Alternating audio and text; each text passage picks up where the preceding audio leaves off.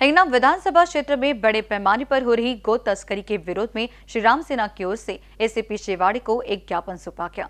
जिसमें हिंगना क्षेत्र में हो रही गो चोरी और गो तस्करी के विरोध में कड़ी से कड़ी कानूनी कार्रवाई की मांग की गई है। वही हाल ही में टाटा इंडिका गाड़ी से गाय की चोरी कर गौ तस्करी करते पुलिस द्वारा रंगे हाथ पकड़े गए चार गौ तस्करों पर कड़ी से कड़ी कार्रवाई की मांग श्री राम सेना की ओर से की गई है। इस दौरान हिंगना के थानेदार काळे ने कहा कि पकड़े गए सभी आरोपियों के खिलाफ मामला दर्ज किया गया है और आगे की पूछताछ में गंभीर मामलों का भी खुलासा होने की संभाव थानेदार काळे ने जताई है। इस दौरान श्री राम सेना के पदाधिकारी और कार्यकर्ते बड़ी संख्या में मौजूद थे। ये रिक्वेस्ट करेंगे कि ये गौ तस्करों को कड़ी से कड़ी सजा मिले। और इनके पीछे और भी कहाँ तक के, ये क्या है, एक साधारण से इनके ऊपर में गुनाह दाखिल होता है, चोरी केस का गुना दाखिल होता है जल्दी जल्दी छूट जाते हैं। हम लोग आज यहाँ इकट्ठा होने का कारण सिर्फ़ यही है कि कल कुछ हमारे कार्यकर्ता उनको देख रहे थे तो इनको देख के ये हंस रहे थे। और हंस रहे मतलब ये कहीं ना कहीं हमको ये नामर नाकामा समझ रहे तभी इसलिए इसलिए इसलिए हंस रहे हैं।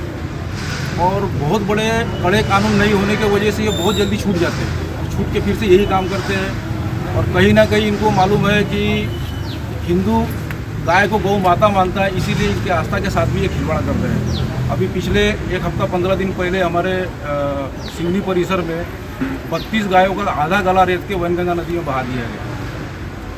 वहाँ से हमारे कुछ कार्यकर्ताओं ने उसका आवाज़ उठाया।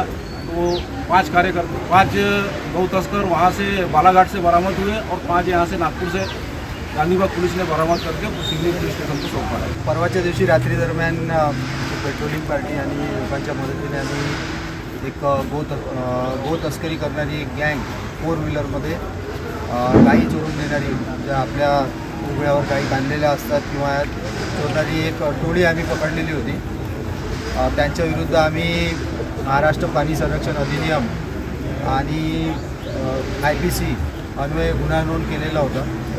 त्यातून त्यांची फोर व्हीलर गाडी आणि जे जनावरं आम्हाला तीन गोमाता किंवा गो गोवंश मिळाले होते ते आम्ही त्यांचे मालक शोधून त्या मालकांच्या ताब्यात ते तिन्ही गोवंश दिलेले आहेत. आणि आरोपींविरुद्ध गुन्हा दाखल करून त्यांचा पी सी आर पण घेतलेला आहे. आणि त्यातून अधिक गुन्हे उघडकीस येण्याचे चान्सेस आहे. त्या दृष्टीने आमचा तपास सुरू आहे. एनबीसी न्यूज के लिए हिंगना से आशीष गोंटाने की रिपोर्ट.